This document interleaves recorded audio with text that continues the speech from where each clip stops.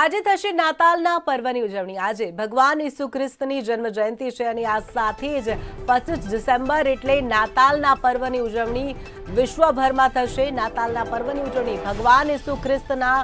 જન્મદિવસલા વધામણા આજે ભગવાન ઈસુ ખ્રિસ્તના જન્મદિવસલા વધામણા થશે વડાપ્રધાન મોદીએ આ માટે ટ્વીટ કરીને શુભેચ્છાઓ પાઠવી વડાપ્રધાન ટ્વીટ દ્વારા તમામ લોકોને નાતાલના પર્વની શુભેચ્છા પાઠવી ભગવાન સુખ્રિસ્તના જન્મદિવસના આજે વધામણા થશે પચીસ ડિસેમ્બર એટલે ભગવાન ઈસુ ખ્રિસ્તની જન્મ અને આ સાથે જ નાતાલના પર્વની ઉજવણી